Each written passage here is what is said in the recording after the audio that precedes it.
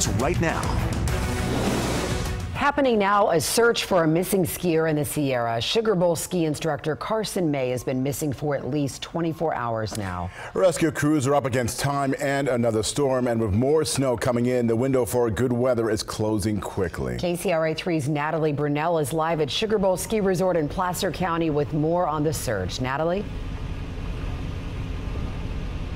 That's right, Kelly. Well, actually, just before we arrived, it started to snow again, so weather is one of the concerns here. We are standing right in front of the command post here at the Sugar Bowl Ski Resort, which we're told is going to be open 24 hours. But when we arrived, search and rescue teams did just come off the mountain. They told us they had searched everywhere. They are able to search at night and will resume in the morning. Now, I want to go over the details of what happened here earlier. We know that the Placer County Sheriff's Office and the Tahoe Nordic Search and Rescue Team, along with some members of of Sugar Bowl Ski Patrol have been searching all day for the 23-year-old.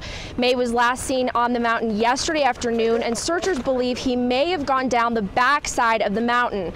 Now, a helicopter was circling the mountain today looking for signs of Carson May, his blue Columbia jacket, bright green pants, and a blue helmet. Deputies say he didn't show up for a ride home yesterday afternoon, and it wasn't until this morning that family, family realized he never came home last night. Now, the Placer County Sheriff's Department said says he's an experienced skier and says there's enough resources for him to survive until medics reach him.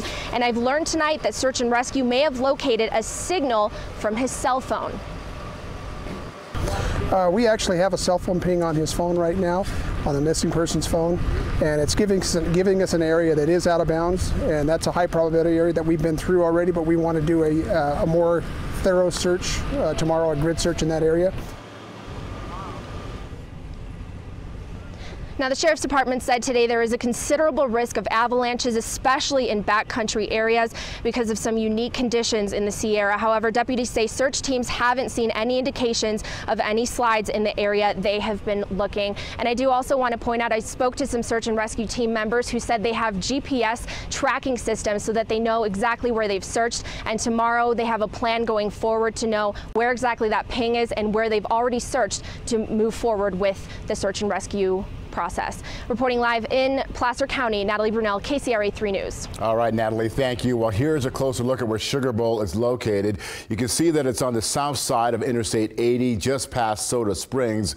Donner Lake is to the east, and the search for the missing skier is concentrated mainly on the back or south side of the mountain.